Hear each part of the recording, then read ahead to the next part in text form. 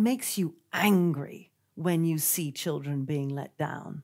And it makes you so angry that you're willing to throw the rule book out. Because unfortunately, nowadays, in Australia, in Britain, in the, the whole of the Western world, in order to get things right with children, you have to go against the grain.